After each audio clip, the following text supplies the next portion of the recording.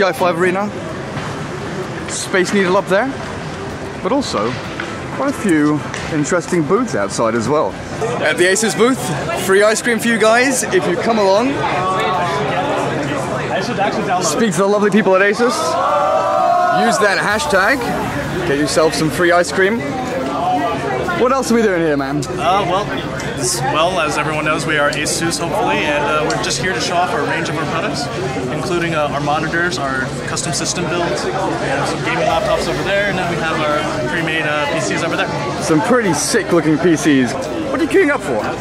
I'm queuing up for some uh, overthrow, uh, free for all. Uh, Ten players. You here alone? I've got some friends in town, but people in the line are strangers. Do you, do you have a hero in mind?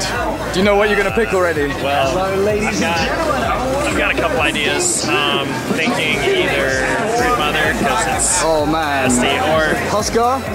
no Huskar. He just he's Easily counted, I mean, right? Yeah, he would be good. There's also techies like. Plant mines everywhere. Yeah, I heard someone say techies. Like, that might not be a bad idea. As well as giving away some pretty cool stuff. Make your own signs.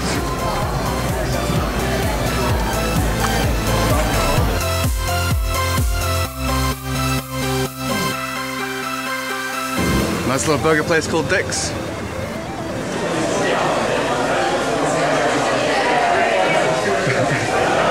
you enjoying your Dick's? I love it. Gorgon? I can't start my day without a good Dick's. So where did you guys come from? Egypt. All, all of you? Yep. Oh wow. Look at that. Your first TI? Yeah, first TI, yeah. Yeah, same here. What do you think about the game so far? You know, like Navi and Empire, they're out. CIS Hope, last one, VP Polo. Yeah, Well, they're still VP.